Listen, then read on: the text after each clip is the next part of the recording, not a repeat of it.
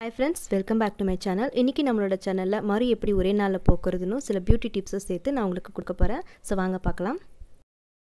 Hi friends இந்த இலை use பண்ணி தான் மறு எப்படி ஒரே நாளில் நிற்கிறதுன்னு நான் உங்களுக்கு செஞ்சு காட்ட போகிறேன் இந்த இலைக்கு பேர் அம்மாம்பச்சரிசி இலை.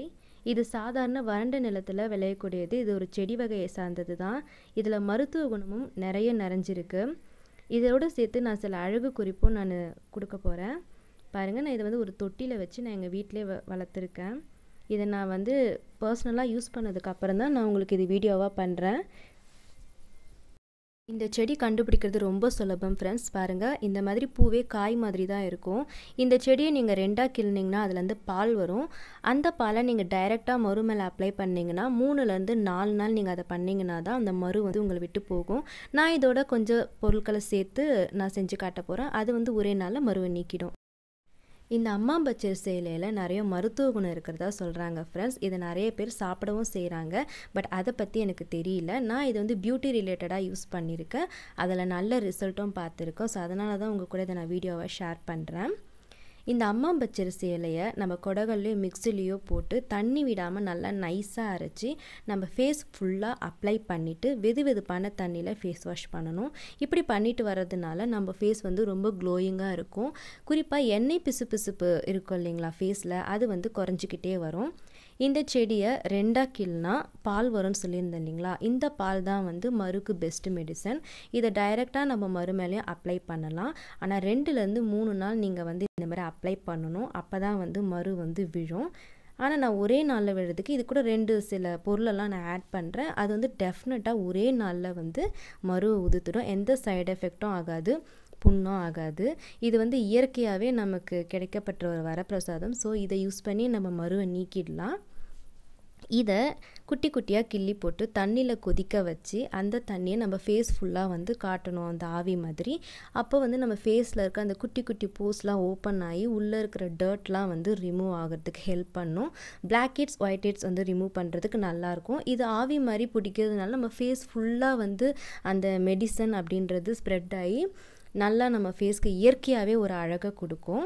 ஸோ டெஃபினட்டாக இது வந்து யூஸ் ஆகும் ஃப்ரெண்ட்ஸ் நீங்கள் ட்ரை பண்ணி பாருங்கள் நீங்கள் ரெகுலராக பண்ண பண்ண உங்கள் ஸ்கின்னில் ஒரு பிம்பிள்ஸ் கூட வராது. ரொம்ப க்ளோயிங்காக நேச்சுரலாகவே நீங்கள் ஒரு க்ளோயிங் லுக்லேயே இருப்பீங்க. உங்களோட கலர் கூட இதில் கொஞ்சம் சேஞ்ச் ஆகிறதுக்கு பாசிபிலிட்டிஸ் இருக்குது தேவையான பொருட்கள் என்னென்னன்றதை பார்ப்போம். அம்மா பச்சரிசியில் நான் ஒன்று எடுத்திருக்கேன். பாருங்கள் அதுக்கப்புறம் வெத்தலை ஒன்று எடுத்திருக்கேன். ரெண்டுலேருந்து மூணு பல் பூண்டு இஞ்சி சின்னதாக ஒரு இஞ்சி துண்டு அதுக்கப்புறம் குப்பைமேனி இலை. இதுவும் நம்ம சருமத்துக்கு ஏற்றது தான் இதுவும் அழகு குறிப்புக்காக நான் யூஸ் பண்ணுறேன் அதை நான் இன்னொரு முறை வீடியோவாக பண்ணுறேன் இதையும் நான் சேர்க்குறேன். நான் வந்து இது கொடகல்ல தான் செய்ய போகிறேன் ஃப்ரெண்ட்ஸ் மிக்சியில் கூட நம்ம பண்ணலாம். இன்னும் நைஸாக வரும். ஆனால் எனக்கு கொடகல்ல பண்ணுறது தான் எனக்கு பெஸ்ட்டு கன்வீனியண்ட்டாக இருக்கும். ஃபஸ்ட்டு நான் பூண்டு போட்டு தட்டிடுறேன். அதுக்கப்புறமா இஞ்சி சேர்த்து இடிக்க போகிறேன் மொத்தமாக போட்டு இடிக்கும்போது நமக்கு இஞ்சி பூண்டு வந்து நல்லா மசிப்படாது. அதனால் நான் ஒன் பை ஒன் ஆட் பண்ணுறேன் இதிலே வந்து நமக்கு சாறு கிடைக்கும். தண்ணி ஊற்றாம தான் ஃப்ரெண்ட்ஸ் அரைக்கணும்.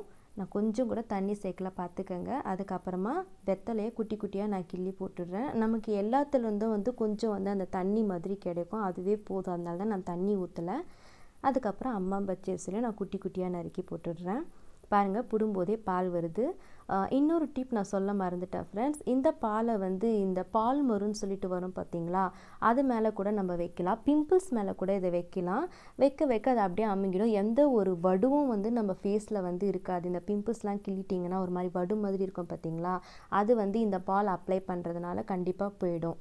அதனால் நீங்கள் அந்த மரு அந்த மாதிரி ஒரு பிம்பிள்ஸ்க்கும் நீங்கள் யூஸ் பண்ணலாம்.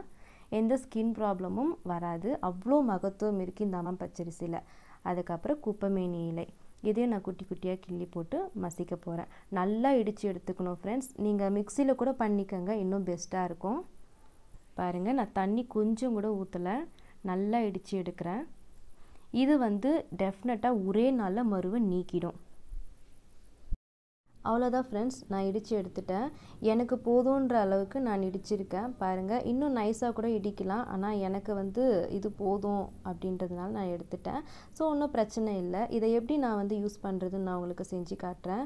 எந்த இடத்துல மறு இருக்கோ அந்த இடத்துல கொஞ்சமாக எடுத்து இந்த மாதிரி எடுத்து அந்த மறு மேலே டைரெக்டாக இப்படி அப்ளை பண்ணிவிடுங்க அதுக்கப்புறம் ஒரு பேண்டேஜ் வச்சு இதை ஒட்டிடுங்க. இதை வந்து நீங்கள் நைட்டில் பண்ணுறது பெஸ்ட் நீங்கள் நைட்டில் பண்ணிவிட்டு நீங்கள் தூங்கிடலாம்.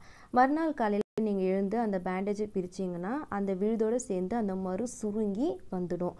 எந்த ஒரு புண்ணு எந்த ஒரு வலியும் வந்து உங்களுக்கு ஆகவே ஆகாது.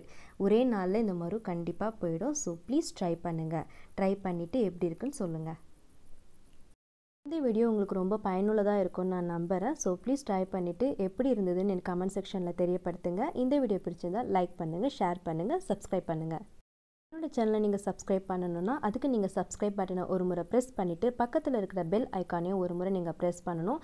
அப்போ தான் நான் பண்ணுற இந்த மாதிரியான பயனுள்ள வீடியோஸ் உங்களால் கண்டினியூவாக பார்க்க முடியும். தேங்க்யூ